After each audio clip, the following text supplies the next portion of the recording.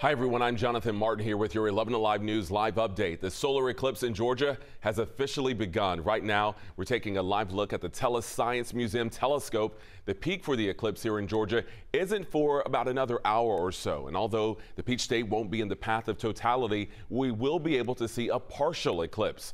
Our chief meteorologist, Chris Holcomb, joining us live right now from the Tellus Science Museum. So, Chris, I know a lot of folks gathering there right now.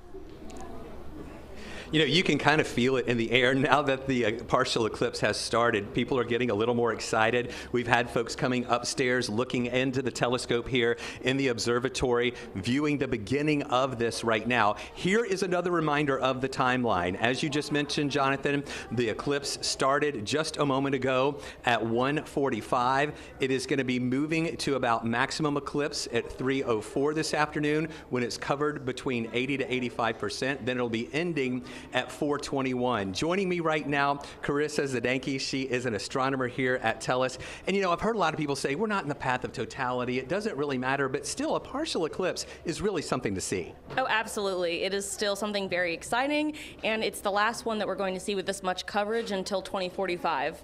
So. And what people are seeing right now on their screen, that we're going to show you the actual feed that's coming in right now. We're beginning to see what almost looks like a little bite being taken out by the sun, right? Yes, exactly.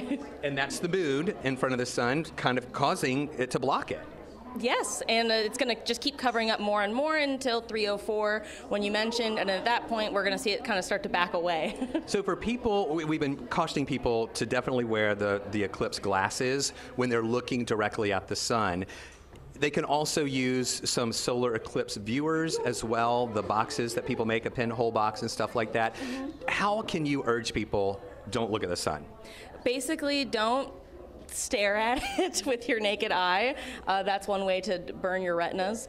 Uh, but any sort of protection like uh, ISO certified solar glasses, solar viewers, pinhole projectors. One of my favorite ways is even just going like this with your hands because even those little gaps between your fingers will act as pinhole projectors and show the eclipse in your shadow. And even people walking around on a sidewalk under trees and tree leaves, the shadows are going to look different today, right? Oh, yes. So, yeah, the, the tree shadows, you'll see tiny eclipses all over, assuming it's sunny where you are. all right, that's good. And that's the thing. We've been watching that cloud cover today.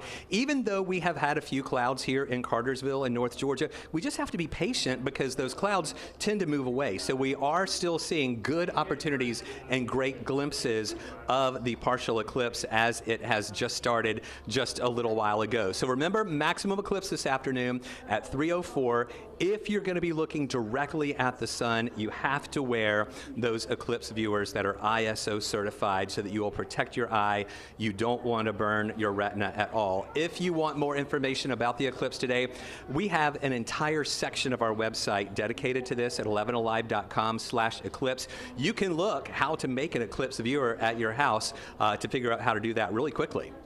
And Chris, the really cool thing is that we're seeing a lot of families out today. I know a lot of school districts, or at least several school districts out today, uh, because last time we saw this, it was 2017.